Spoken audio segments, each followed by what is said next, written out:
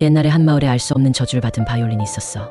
이 악기를 연주하면 아주 좋은 소리가 나긴 해도 연주하는 사람이 저주에 걸려 죽는다는 소문이 파다했지. 마을에 온 어떤 유명한 바이올리니스트가 이 소문을 듣고 그건 헛소리라며 자기가 직접 연주해보겠다고 나섰어. 연주의 날 그 바이올리니스트는 저주받은 바이올린을 들고 대담하게도 무대에 올랐어. 사람들이 숨죽여 지켜보는 가운데 첫 음이 흘러나왔는데 정말이지 천상의 소리였어. 마치 천사가 지상에 내려와 연주하는 것처럼. 하지만 60초가 채 되기도 전에 갑자기 바이올리니스트 얼굴이 창백해지더니 바닥에 쓰러졌고 결국 목숨을 잃었지. 다들 소문이 사실이라며 두려워하고 있었어. 그런데 제일 끔찍한 건 그 바이올린, 쓰러진 바이올리니스트의 손에서 미끄러져 나와 바닥에 떨어진 순간 천천히 목재가 갈라지면서 뭔가 구더기 같은 것들이 기어 나오기 시작한 거야. 저주받은 악기 속엔 작은 구멍들이 가득했고 그 속에서 살아 움직이는 것들은 바로 그 마을. 사람들 모두가 잊었던 전설 속 악기를 만든 마귀가 집어넣어 놓은 수백 개의 눈이었어.